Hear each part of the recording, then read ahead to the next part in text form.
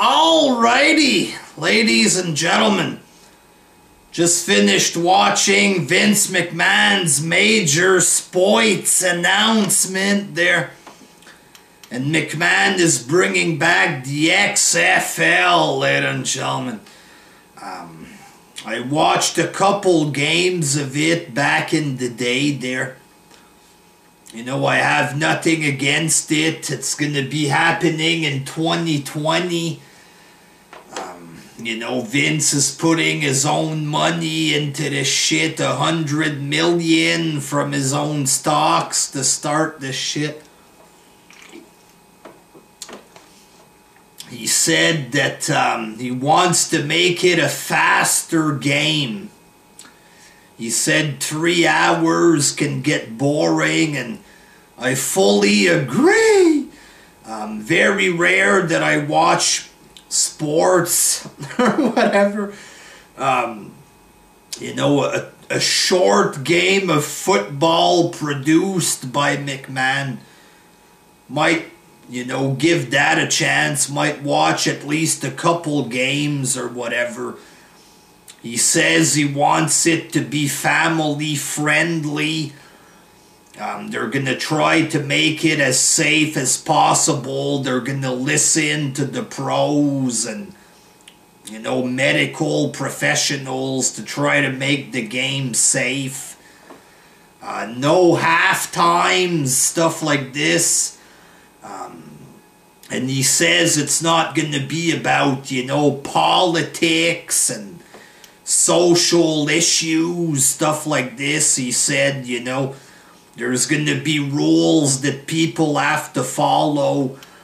Um, he said the national anthem, it's, uh, you know, it's like a tradition, the national anthem before games. So, you know, pretty much people are going to have to respect the national anthem shit like this. He said somebody asked him if Colin Kaepernick is allowed in the league. He's like, sure, why not, or something. But he said people are going to have to follow the rules. He doesn't have any cities in mind. He probably does there, but he's not revealing anything right now.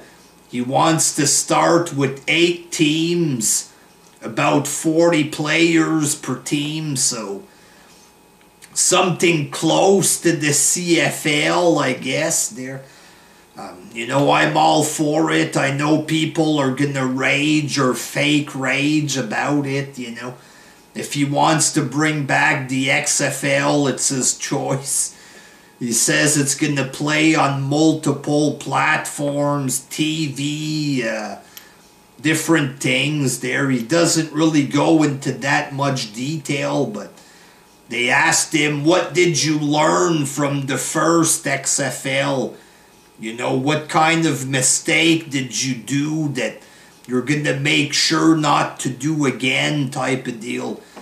He said the quality of the play, so he wants to make sure that it's good games no WWE crossovers of any kind. He's not going to be like the face of the company.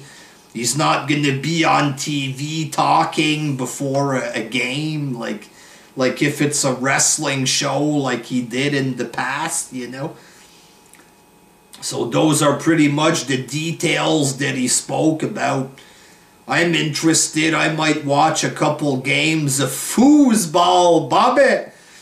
You know, if it's only two hours long, I'll watch a few games. If I fall asleep like I do with most sports, then I'll probably not watch that many games there. But if it's produced by McMahon, what the fuck, I might watch it. You never know there.